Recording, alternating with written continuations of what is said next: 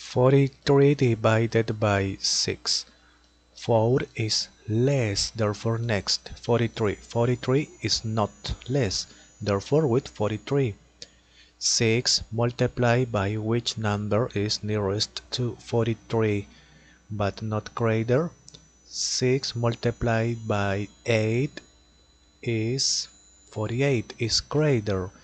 Multiplied by 7 is 42 is not greater okay. 43 minus 42 is 1 next that is not number therefore complete always complete with 0 here with point. Complete 0 point okay.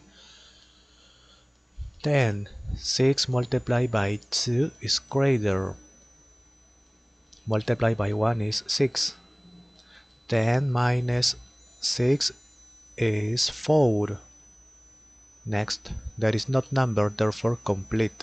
Always complete with 0. Point is here, okay. 40. 6 multiplied by 6, 36. Subtract, complete. Always complete with 0, 0 point, okay. 40. 6 multiplied by 6, 36. Subtract, complete. Here, repeat. Therefore, repeat, repeat. Therefore 6 repeat repeat okay. Finish it. 43 divided by 6 is here. Or after the point 6 repeat.